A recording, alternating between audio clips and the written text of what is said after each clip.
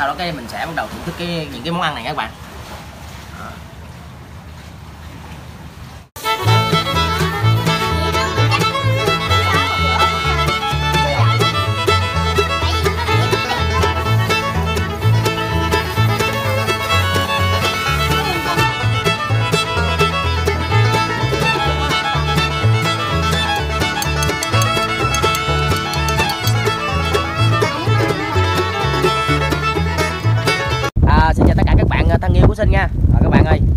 Chung là hôm nay là mình muốn ờ, cho các bạn ờ, một cái không khí mới đó là mình sẽ thả một con diều. Nó này gió gì đó các bạn ơi. Mình thả một con diều rồi đó rồi ờ, mình ờ, thưởng thức cái cái diều thì sau điều đầu cái mình sẽ đi, đi đi ăn các bạn. Đó thì bây giờ là chúng ta bắt đầu thả diều các bạn ơi. Bạn ơi bây giờ là mình sẽ thả diều các bạn. Chúng ta thả diều đi rồi. Chúng ta sẽ thưởng thức cái món ăn sau các bạn. Thả diều các bạn ơi. Chị chúng ta thấy gì các bạn ơi, bắt đầu thấy gì các bạn ơi. Đó, uh, lên cao rồi. Uh, cao quá mọi người ơi.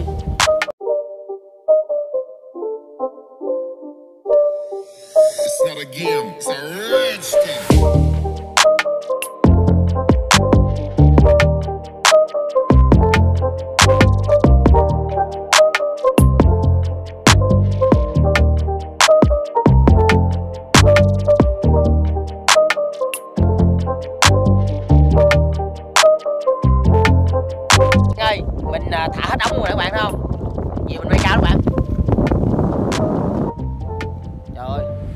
Gì bay cao quá không thấy luôn. Con gì bay cao các bạn ơi.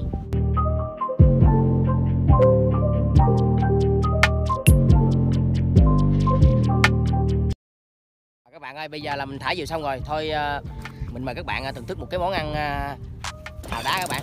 thì chúng ta sẽ làm một cái món đó là hào đá nướng mỡ hành nha rất là ngon và đặc biệt lắm các bạn thì chúng đi thôi Pas de soleil, pas de soleil, pas de soleil. Pas de soleil, pas de soleil, pas de soleil,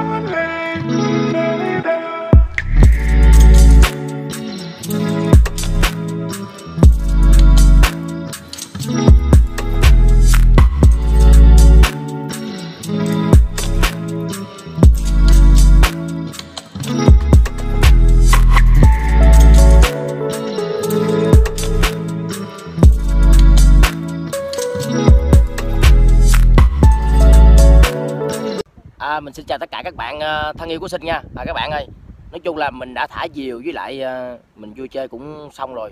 Thì ờ, nói chung là lâu lâu thì mình có một cái cảnh như vậy đó để mà mình thoải mái vui chơi. Bây giờ là mình sẽ xin giới thiệu cho các bạn thêm một cái món ăn nữa nha các bạn. Đó là cái món hào đá nướng mỡ hành. Bây giờ mình sẽ mời các bạn đi tới cái chỗ đó đó. À, đó. Ở dưới đó có một có một số có một người nông dân họ hay đánh bắt hải sản này kia đó. Nói chung là đa phần là về hào đá. Thì mình sẽ mời các bạn tới đó để mà thưởng thức thử cái món hào đá đó làm sao nha. Nghĩa là mình sẽ mua về để mà mình làm ngay tại nhà mình luôn. Giờ chúng ta đi kiếm hào đá thôi. Mình sẽ à, đi xuống dưới đây để mình à, lấy hào đá các bạn ơi. Theo mình.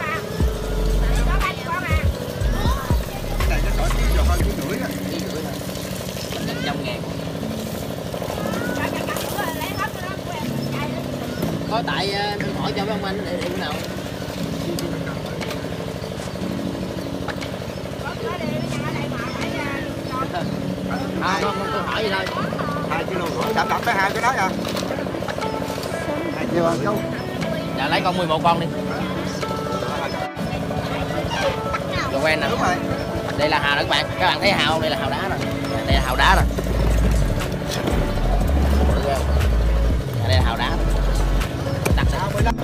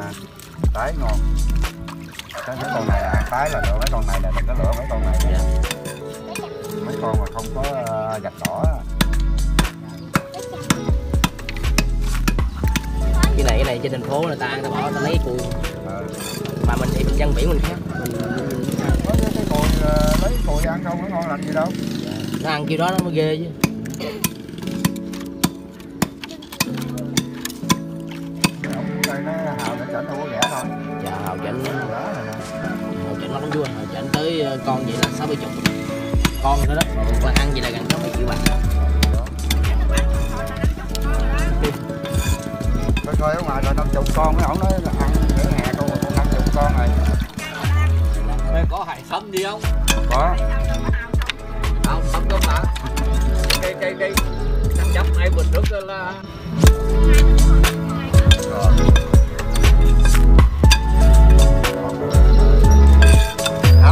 hào đi mấy ơi hào đi 15 ngàn con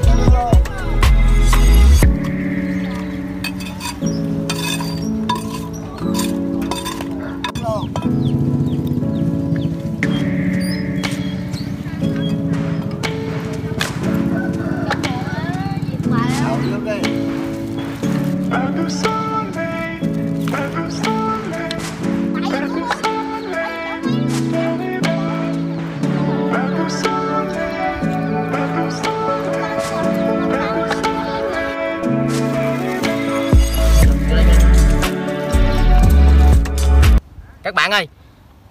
mình đã à, mua cái cái loại hào đá này về đó bạn. Đó, các bạn thấy không? Rồi nó bự nè. Đó. Bây giờ là chúng ta sẽ bắt đầu về mình à, chế biến mỡ hành nha. Bây giờ là mình sẽ ăn mỡ hành. Mình sẽ không bao giờ bỏ trứng với lại cái gì vô nữa. Bây giờ chúng ta sẽ à, đi thưởng thức cái món này các bạn. Rồi về thôi.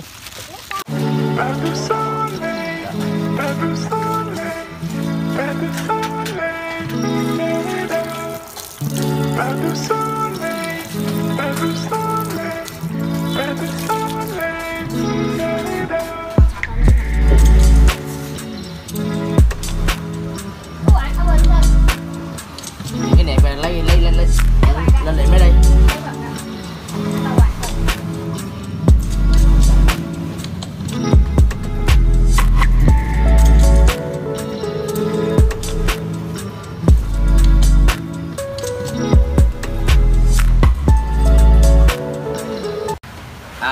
bây giờ xin đã ờ, làm xong hết tất cả mọi thứ ờ, đây các bạn, thấy không? Đó. Mình ờ, mình cắt ra xong hết chưa? Tất cả mấy cái con sò này nè. Đây là cái con hào cũng gọi là con sò luôn. Nói chung là mình sẽ dùng cái mỡ hành. Mình đổ vào đây ha. Rồi đó có, sau đó cái mình đem lên than mình nướng. Sau đó cái mình sẽ bắt đầu thưởng thức cái, những cái món ăn này các bạn.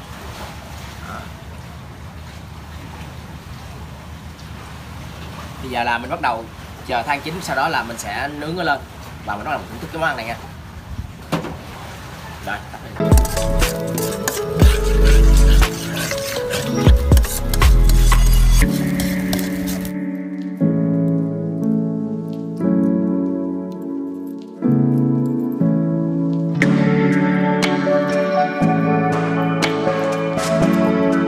Ờ, chín rồi nha các bạn. Bây giờ là mình sẽ dùng ờ, than á là mình sẽ nướng cái cái, cái, cái con hào đá nè rồi à, để mình à, đem lên than mình nướng rồi sau đó mình thưởng thức nha bạn. Này đầu tôi các bạn. Rồi giờ mình à, đưa lên than nha. À, các bạn ơi mình có chuẩn bị thêm một cái nước chấm nè để mình chấm với cái cái cái cái con hào đá này các bạn. Đó. Nhiều khi là mình sợ là nó không có được ngon á sợ nó cũng còn hơi lạc á thì mình sẽ dùng thêm cái nước chấm là để mình chấm vô để cho nó có thêm một cái vị. Ha.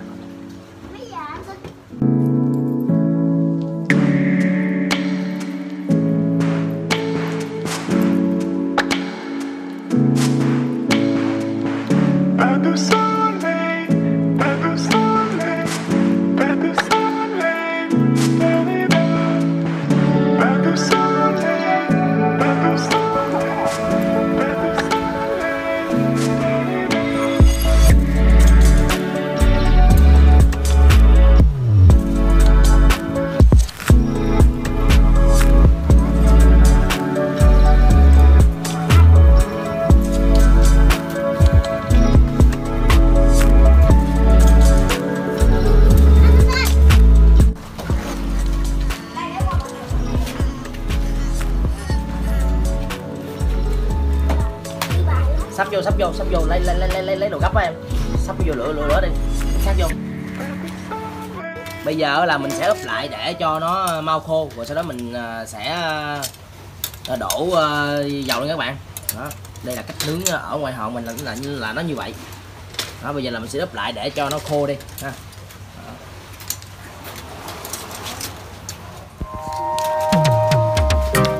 Giờ quạt cho than nó đây là cái chỗ mà mình ờ, đang chuẩn bị nè, các bạn thấy không? Đó. Mình đang nướng nè. Mình đang nướng ờ, nói chung là mình nướng như vậy là chi không để mà mình úp xuống để mà cho nó khô cái cái con hào cho nó mau rồi sau đó mình sẽ đổ ờ, hành lên thì nó sẽ ngon hơn. Đó. Thì các bạn nên nhớ làm cách này nha. Sẽ có một số bạn sẽ không biết được cách này thế nào. Đó. Mình nướng là như vậy đó.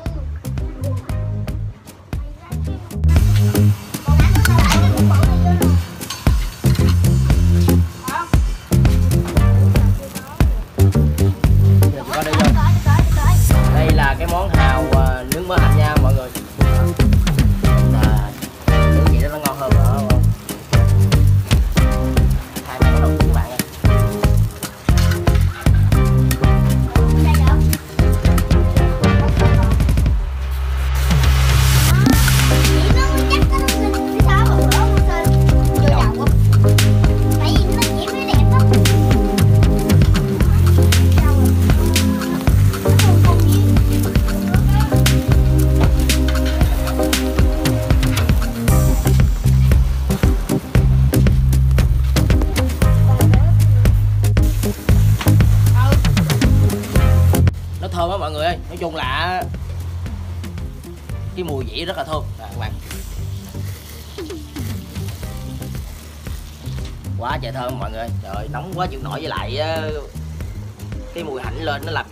khó chịu các bạn, nó ngon lắm đã lắm bạn. Bây giờ là mình chờ nha, chờ trong vòng cỡ ờ, hai ba phút nữa thôi là mình sẽ được thưởng thức cái món này. Rồi, phía sau có nước.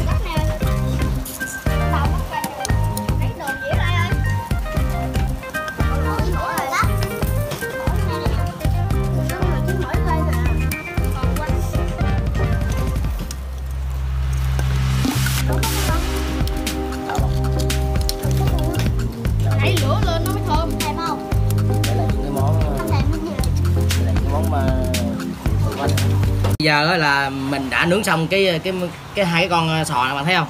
Nè, đây là hai hai con hào hào đá. Đó. Wow thơm các bạn ơi. Bây giờ là mình mời các bạn thưởng thức cái món này với mình nha. Nè bây giờ mình cắt này ra đến cứng.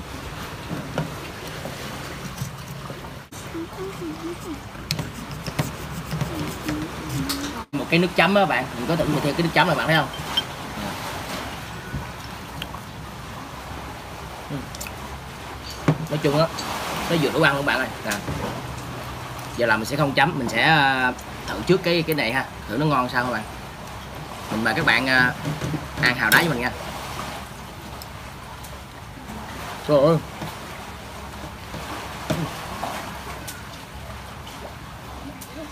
Các bạn ăn nhớ để ý ờ, cái cái hào à, cái miếng hào đó. Nó bị như đây nè. Cái miếng đá đá. Ăn ăn kỹ kỹ xíu chung là rất là ngon bạn. Nói chung là cái món này rất là ngon và đã. Rồi cái thịt nó ngọt các bạn. Với lại á, thơm.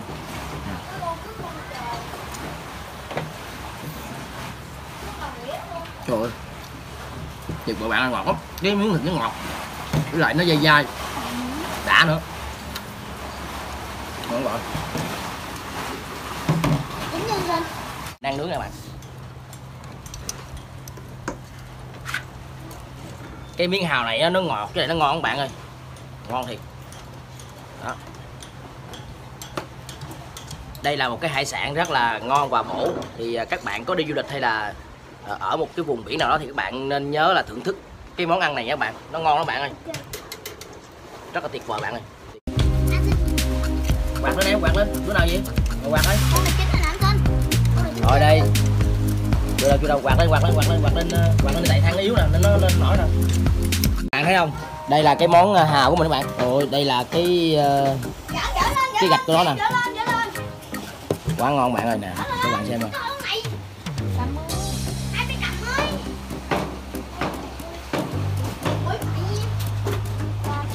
Đây là cái cùi đó các bạn thấy không? Cái cùi này ngon. Ây da, trời ơi. Cứng quá mọi người ơi.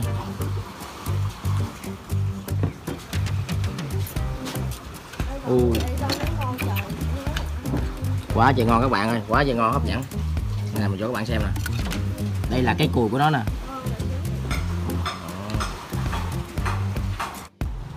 Ờ. Ơi mình mời các bạn à, thưởng thức cái món hào với mình nha. Hào đá này bạn. Ôi. Ừm, ngọt quá bạn ơi ngon quá. Cái mùi vị của nó ăn vô nó ngọt với lại nó, nó béo nữa. Nhất là cái đỏ đỏ này nè là cái gạch của nó bạn ngon còn đây là cái, cái đây là cái sừng sừng của nó nè. Cái cù của nó trời ơi. Nó thơm nó đã. Ngon. Coi cho kỹ vô các bạn. Tại vì nhiều khi mình ăn nó hay trúng mấy cái ờ, mấy mấy, mấy cái sàn của cái ờ, cái hào nè.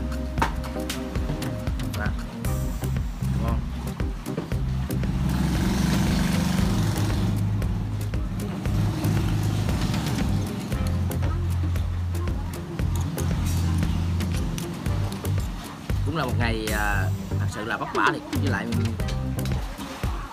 mệt là mệt đi à, đi bắt á, bắt cái con này. Phải lặn xuống dưới biển để mà bắt nó lên nó ngon.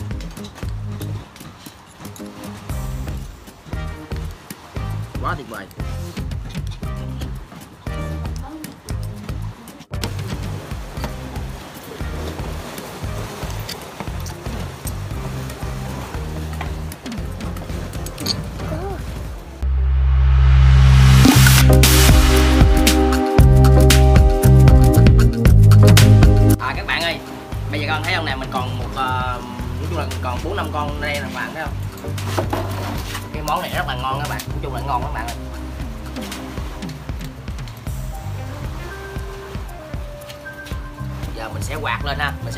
Để cho nó nó mau chín than rồi để mà mình thưởng thức thêm những cái con này nữa. Cho các bạn xem các bạn.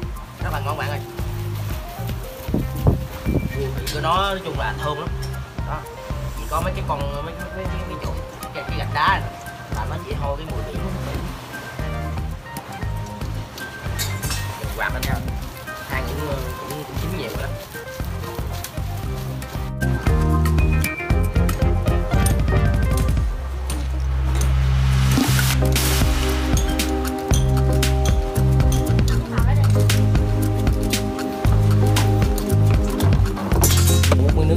ra đâu bye bye. Ra đi Ủa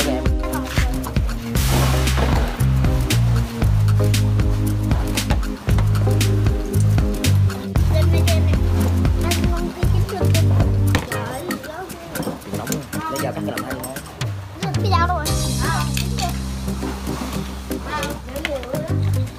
ăn đi em ăn đi ngon. Ngon em ngon em. Rồi nè. Để cắt ra đây còn còn cái kia kìa tại đây. Cắt ra đây. Ừ. Bây giờ mình sẽ cắt ra làm hai các bạn. Mình sẽ cắt làm hai rồi cái ờ, mình ăn. Ủa, nóng quá các bạn nói chung là cũng- nó nóng lắm.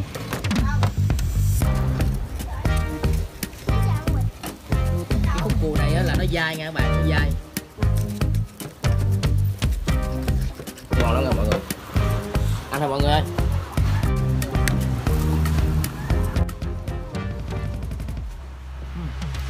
Trời ơi. cái thịt nó dai ngon các bạn ơi ngọt cay quá mọi người ơi.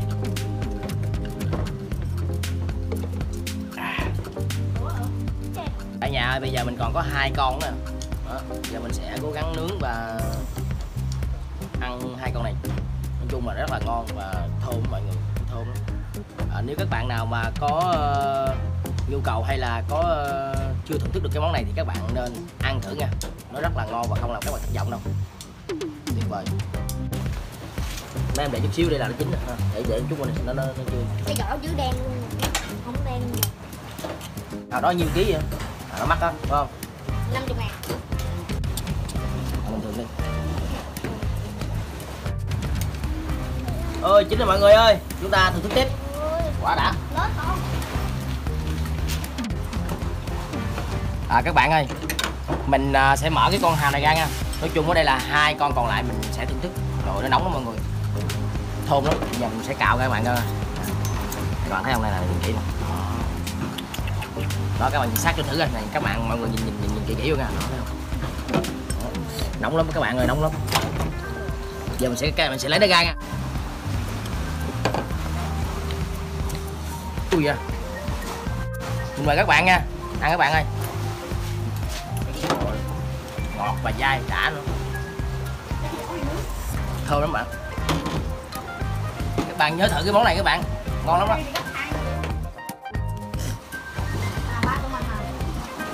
em nướng lên rồi em ăn ăn đi con các bạn ơi à, mình đã thưởng thức xong à, cái món hào à, hào đá này rồi. Nói chung nó rất là ngon và rất là bổ nữa. Nếu các bạn nào mà có yếu sinh lý hay là có thèm những cái món hào đó thì các bạn nhớ thưởng thức cái món này nha rất là ngon. Thì mình cứ bỏ mỡ hành lên rồi mình nướng vậy thôi. Và nhờ những người ngư dân biển đó, họ sẽ làm cho các bạn ha. Bây giờ các bạn bây giờ các bạn ờ, coi nha mình sẽ để xúc xích lên và mình nướng cái món này. Nha các bạn. Mình sẽ nướng ờ, xúc xích với hào. Chưa thấy đúng không? Bây giờ mình sẽ cho các bạn thấy. Uh, à, các bạn ơi à, nói chung là nếu các bạn thấy hay đừng quên nhấn đăng ký subscribe và chia sẻ cho kênh của sinh nha. Bây giờ mình xin chào và hẹn gặp lại các bạn vào những cái video kế tiếp lần sau nữa. Bye bye các bạn. Bye bye.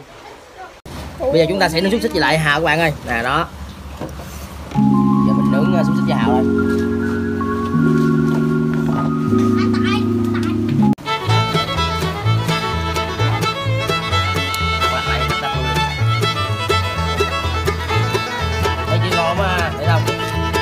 Lên lại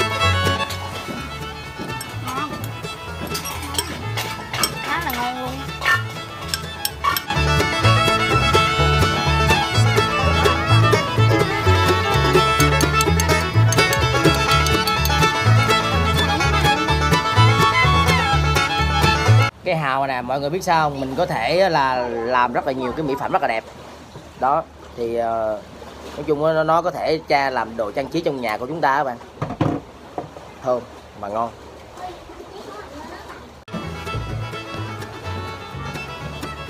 Các bạn ơi đây là món uh, xúc xích hào. Mình mời mình mời các bạn thưởng thức cái món này nha. Đây được gọi là cái xúc xích nướng bằng vỏ hào đó bạn. Đó thích vỏ hào đó bạn. Mình dùng cái vỏ để mình nướng lên nó ngon lắm. Nói chung là rất ngon. 11 con lấy 11 con rồi chị. Lấy cây lấy cây lấy lấy thì dạ chú cứ làm từ từ đi không đợi. Dạ. ra đập cái hào Nè, đây là hào đó các bạn. Các bạn thấy hào không? Đây là hào đá nè. Đây là hào đá nè. Coi. Nè, đây là hào đá vâng ơi